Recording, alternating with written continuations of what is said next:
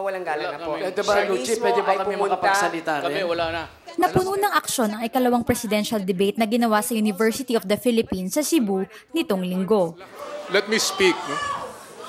Let me speak. May, may we hear the secretary, please? Mahigit isang oras na antala ang pagsisimula ng debate dahil umapila si Administration Standard Bearer Mar Rojas sa pagdadala ng kodigo ni Vice President Jejomar Binay. Bagay na kinumpirma ni Luchi Cruz Valdez, pinuno ng TV5 News and Public Affairs.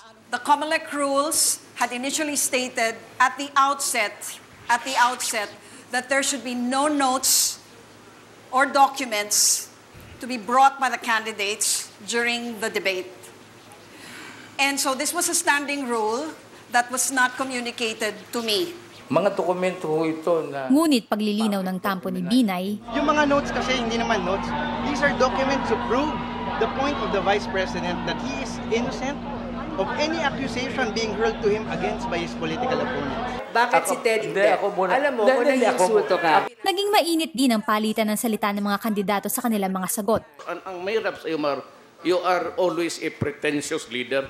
Ang bawat kandidato kaliwat ka ng patutsada sa kanilang mga kalaban. kung magpintang ka, parang ako'y nahatulan na. ikaw ba Eh, sinabi ko nangungulimbat? Sinabi ko lang mo naman.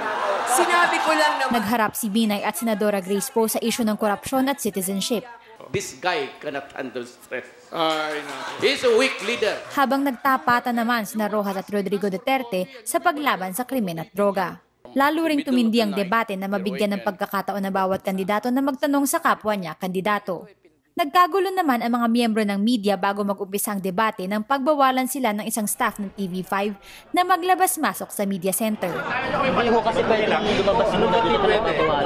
Sa kabila ng mga gusot na ito, paniwalan ni Comelec Chairman Andres Bautista na naging matagumpay pa rin ang ikalawang presidential debate. ang debate successful. Although tulad ng kailangan natin ngayong pag-aralan ano ba yung mga magagandang portions, ano naman yung pwede pa natin may So.